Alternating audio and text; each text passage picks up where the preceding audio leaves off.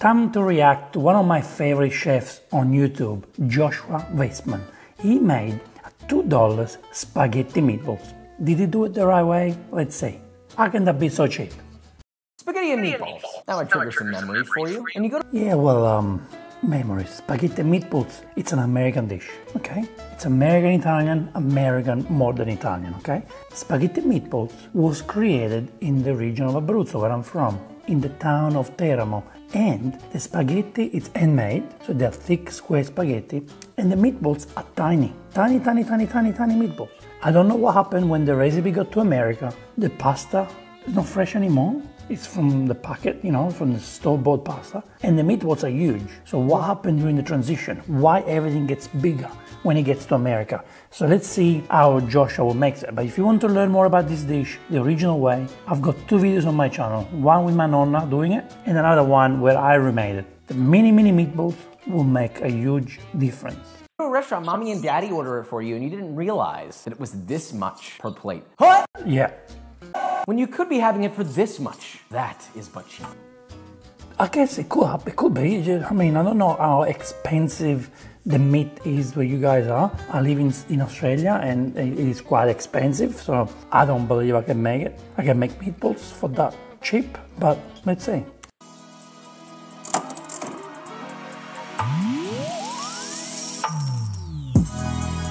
It does look nice. It does look a little bit dry, but just the presentation and it's a video. I'm not judging that. I like the cheese. It's nicely fresh, grated. The basil chopped, I don't like it. Basil, don't chop it. Use your hands to break it. Okay, so we all know the classic spaghetti and meatballs. What, what do you think it is? It's spaghetti and meatballs, but It's not, yeah. not just spaghetti and meatballs. It's about the pasta. Yes, bravo. We're starting the right way. It is about the pasta, and that needs to be fresh. It's about the sauce, and it's about the. It is about the sauce. The sauce needs to be perfect. Meatballs. And there's And the most important one, the meatballs, not too big. They don't look big. I don't make these at home. I never made spaghetti meatballs at home this way, and I would never make this for my kids. I don't care if they like it. I make it tiny, tiny, tiny meatballs because when you get the forchettata, you put in your mouth, you get meatballs and pasta and the sauce all at once. How can you put a big meatball like that in your mouth? Only three main components that make up what it is. So you better believe that those three components should be perfect. I agree. Well, well said. Well said, Joshua. Since they should be utterly full of flavor, and anything less than that ruins the entire dish. I agree. 100%. And yet people are sitting back and enjoying a plate of spaghetti and meatballs that's subpar when you don't even realize that you're ruining your life. Disgusting! You should be shame. But today we're gonna fix that. So with all that said, let's make this, shall we? It's funny. We've had this discussion before. Oh, Josh, is homemade pasta cheaper or is store bought pasta cheaper? Look, here's the short answer, but kinda long. Yes, you can get your flour, your eggs, mix them together, and that dough is less expensive than buying pasta. But unless you have the buying power to get yourself a pasta roller with the spaghetti attachment, you're gonna be hard pressed for it to be very. Look, you can buy cheap, dry pasta like pasta in the packet, which I do not recommend you because in the long run it's not good for you, it's not gonna be good for your digestion, it's not done well, and it doesn't taste good. So invest when you buy pasta. When I say invest, pay an extra dollar, but buy good quality pasta. It's just one dollar. You can feed the whole family. Or you make it yourself. Maybe you don't save much money when you make pasta because you need to buy the flour, you need to buy the eggs, and nothing is cheap anymore. But it's a fun process to make fresh pasta. And spaghetti meatballs made with fresh pasta, it's like another level. Our big juicy balls. Great meatballs don't need to be complicated. They just need a touch of technique, some essential ingredients, and maybe an individual that gives a f about what they're doing for themselves for one. That's so right. It's so right what you just said. It's so, so right. Start off with a quarter pound of ham. In this case, I used mortadella, which is Ooh, I've never used mortadella and meatballs. Joshua, what have you done to me today? This is a brilliant, brilliant idea. Mortadella and meatballs. Wow. And I love mortadella. slightly, pricier, and also not ham. I would recommend going with ham if you want to save the cash. No, this is beautiful. I don't think I'm gonna use ham, but mortadella and meatballs? Wow. Chop that bad boy finely and place in a medium-sized bowl. To that bowl, you'll add one pound of ground What is that? It looks like dog meat. Honestly, do you guys sell meat like that in USA? I've seen other videos before where you guys actually do that. How can you buy that? It looks like here in Australia we buy dog food like that. I can't eat meat like that, sorry, but I think I'm eating dog food. Ground beef. Oh wow, angly. One teaspoon of finely ground fennel seed. One and a half teaspoons of Fennel seed.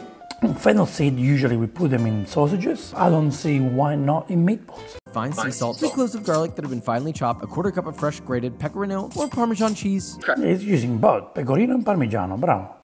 Black pepper to taste. Give that a good mix to incorporate. Then add half a cup of panko breadcrumbs You can use panko, whatever you think you- you're doing, it's fine. Panko's fine. But if you get a nice bread and let's say you got some leftover from yesterday or the day before, just put it in the blender and get a beautiful breadcrumbs that you need. Or buy a nice breadcrumb from a local bakery, you know, just get fresh breadcrumb, it's a lot better. And to be honest, you need a little bit of water or milk one whole egg. Mix it together and knead for about one minute until Look, the secret to make super moist meatballs, you need some slices of bread, wet it, soak it in the water or milk, squeeze it out, and you put it in the meatballs.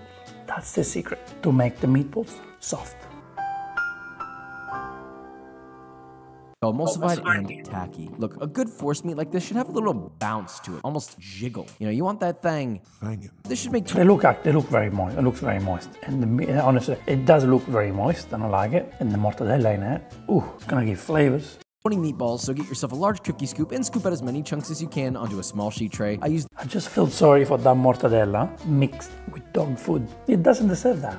The wrong scoop, so I ended up with 19. Good job, Josh. Anyway, roll those meaty men So the good thing about using the ice cream scoop or whatever you call it is that at least you get every single meatball, you know, the same size, same weight, and then you roll it with your hands. It's a lot easier as a process. I like to do it by hand, but you did a good job. I normally do it by hand because when I use these things, the meat always gets stuck on it and I don't find it easy. But looks like Joshua did it very easily.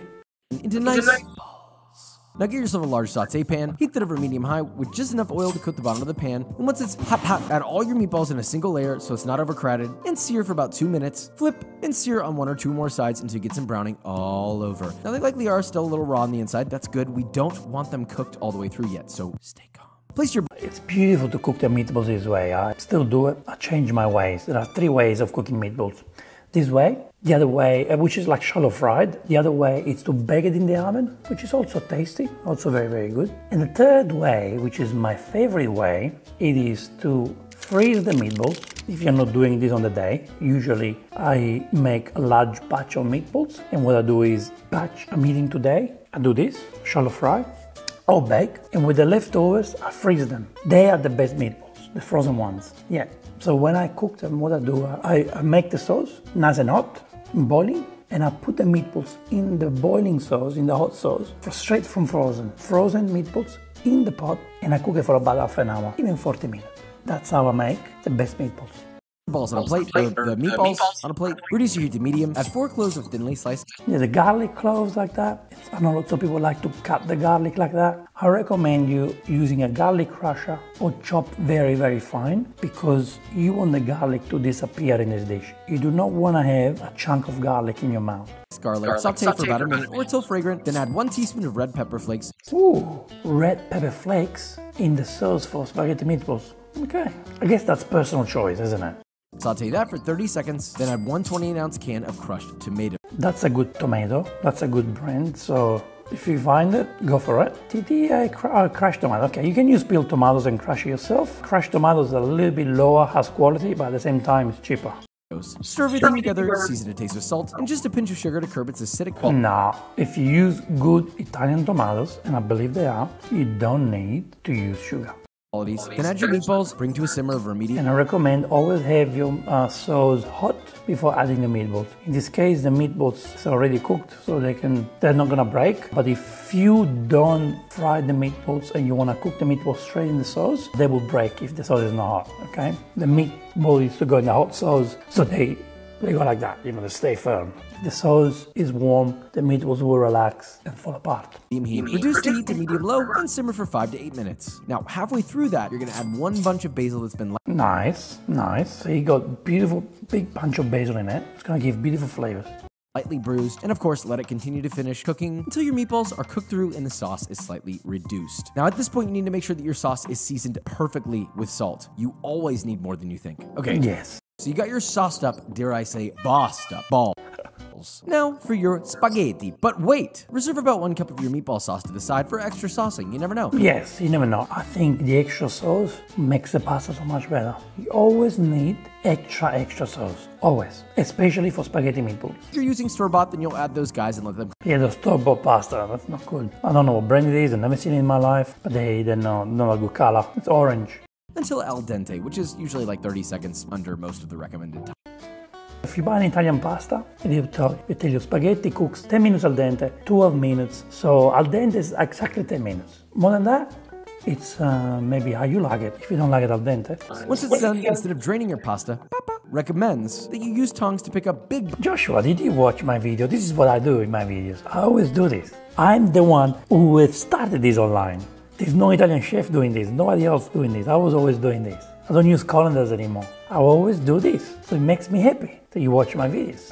bunches of pasta, letting it drain slightly, and adding it to your saucy balls until all of your pasta See, if the meatballs were tiny, like my grandmother does, or you can watch my videos, spaghetti meatballs the Italian way, if tiny, it's so easy to combine the sauce and the pasta.